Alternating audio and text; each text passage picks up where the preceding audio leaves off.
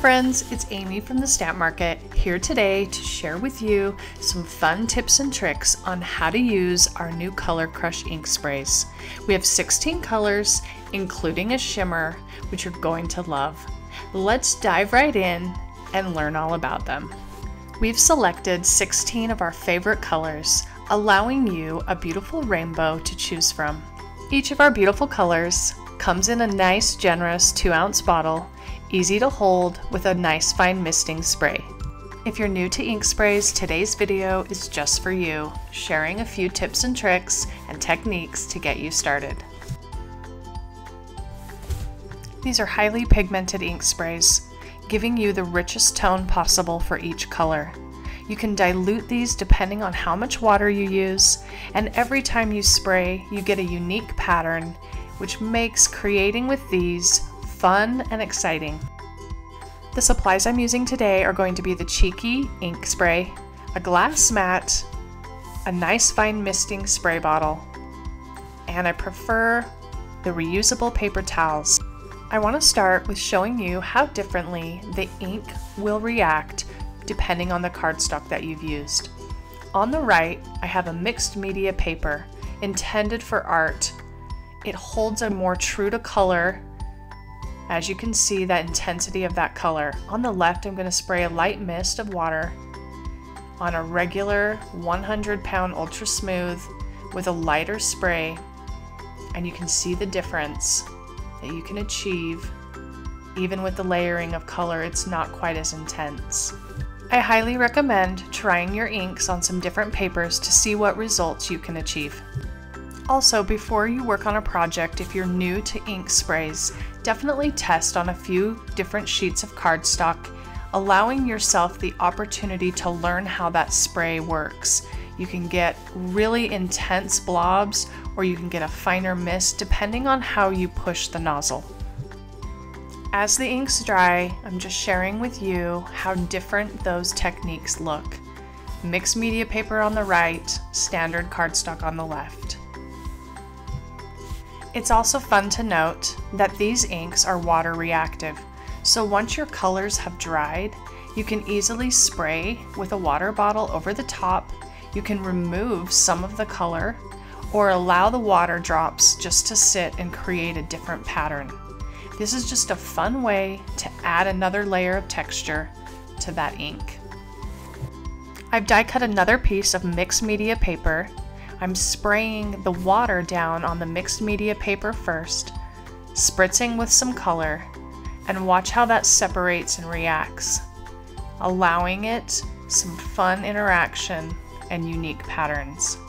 I've sprayed it again to achieve a little different look.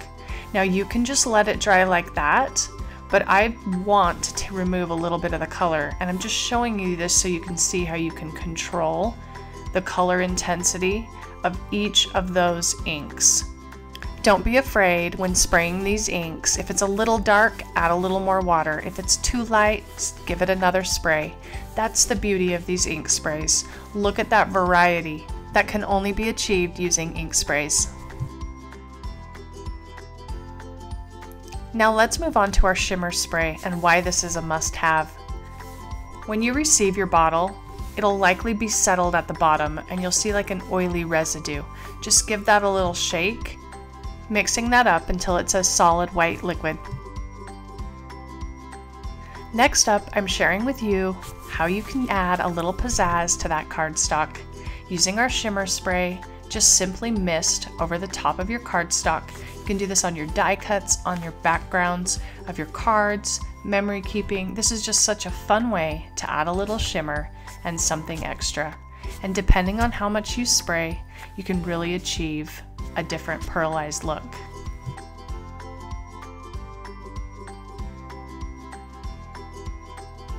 You can also add the same technique to any of our ink colors. Simply spritz over the top, just like you did the cardstock, and this will give you a fun metallic shimmery finish to any of those 16 colors.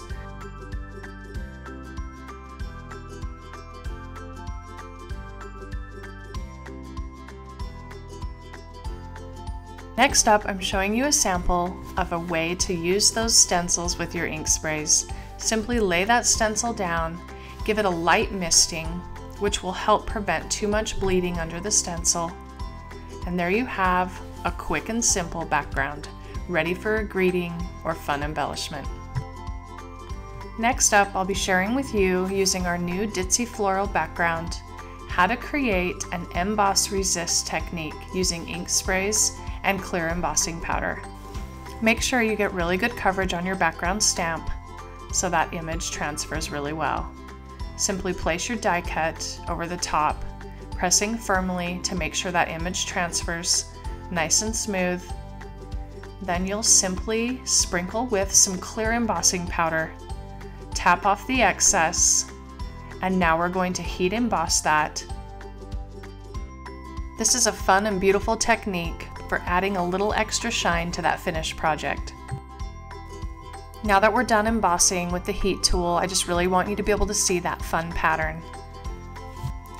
Using our cheeky ink, we're going to spray a fine mist over the top of that and then you'll want to have a baby wipe on hand and ready to remove any excess ink. And that clear image will resist and repel that ink allowing you kind of a reverse pattern. These create such beautiful patterns. What a fun way using a stencil or a stamp. The next technique I'm going to share will be showing you a little multicolored background. I like to use a clear block, spraying three or four different colors in a random pattern as shown. I like to also add a little extra water on the top. You don't have to, but this will just give it a little bit more blendability. And then I'm going to take my cardstock and lay that down on top of the ink. And this will quickly absorb the ink. You'll want to remove that and simply let it dry. And look at that unique pattern and background that it creates. You can also spritz additional water over the top giving it a little bit more water reactive look. Don't be afraid to add a little more water if it's too dark or not blended enough in certain areas for you. You can also use a paper towel to simply remove some of that excess ink. Don't be afraid to continue to play with that water, removing areas that are darker or achieving a little different look. Again, that's the beauty of using these ink sprays. I made a second tag using the same technique and the same colors, and look how different those patterns turn out. Lastly, I want to share with you how to use these inks with different mediums. Because these are so pigmented and they have such an intense color, you can mix these with different mediums and achieve those rich tones. Starting with a matte gel, which makes a beautiful background on card making, I'm just going to take a little blob just for an example to show you. I'm going to lay that down on my glass surface. This is such a fun process, I can't wait to show you how it turns out. You're going to want to just open up your bottles and simply drop a few drops. And you can mess around with the intensity of color depending on how many drops you put in, just like food coloring and frosting. I'm going to mix that up with my palette knife. Nice and smooth and creamy. You'll want to work fairly quick with these types of products because they do dry fairly quick.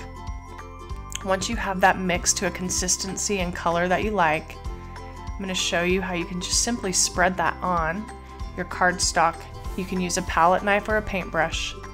And once this dries, this creates so much depth and they make the most beautiful backgrounds. The last technique I want to share with you is adding just a few drops to some acrylic paint. You'll want to start by using a, a, good quality acrylic paint. Simply add a few drops and mix that with a palette knife. And either using a palette knife or a paintbrush, you can easily add this to your backgrounds of some cardstock or simply paint accents to your stamped images. This creates a much softer pink using the white paint compared to the gel. Look at that difference. When you're done creating, make sure you grab one of those reusable paper towels or a nice damp rag and clean those nozzles from any of that extra ink that's left over from creating. This will help prevent any of that ink drying. It can be really easy to forget to clean these if you're in a hurry, but don't worry, you can simply put them under some hot water when you're ready to use them again and they'll be as good as new. Thank you for joining me today as we learn more about how to use our new ink sprays. I hope this video inspires you to get messy and have fun.